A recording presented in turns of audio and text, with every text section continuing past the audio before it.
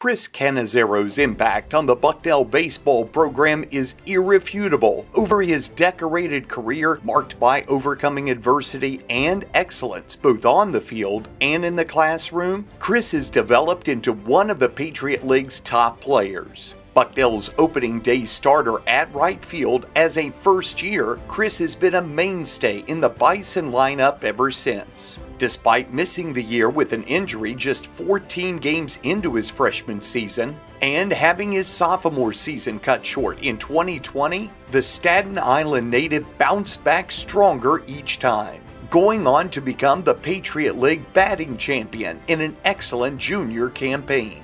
A team captain as a senior, Chris has earned the respect of his colleagues in the Patriot League after earning all Patriot League first team honors in his junior season.